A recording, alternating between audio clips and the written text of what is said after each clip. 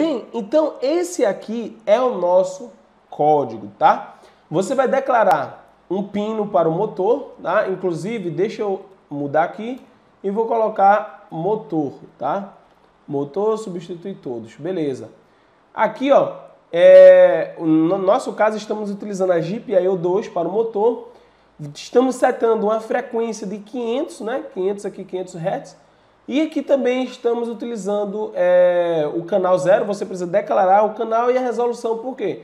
Porque para você utilizar o PWM do ESP32, você precisa setar a frequência, o canal e a resolução que você quer, beleza? E aí você coloca aqui L é, LED de setup, né? Ou seja, você, nós vamos utilizar aqui basicamente essa função aqui para é, controlar o PWM do motor. E aqui você tem duas funções. Uma função vai incrementar, e aí é semelhante ao analog write do Arduino. Aqui você vai incrementar para ele de 0 até 255, que é o PWM, né?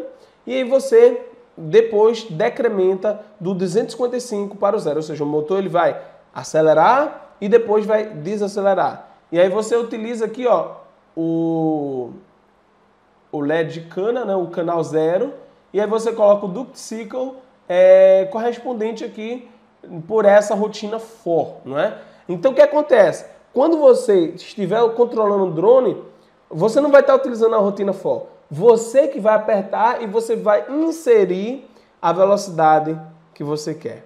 Por exemplo, se você quiser que o drone suba, aí você precisa aumentar a velocidade dele. Aumentar e depois diminuir, porque senão ele vai subir né, e vai lá para cima, né?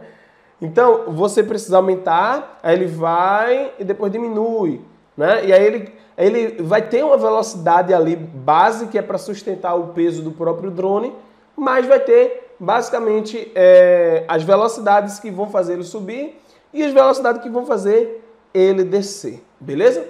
Mas isso aqui é questão de testes, beleza?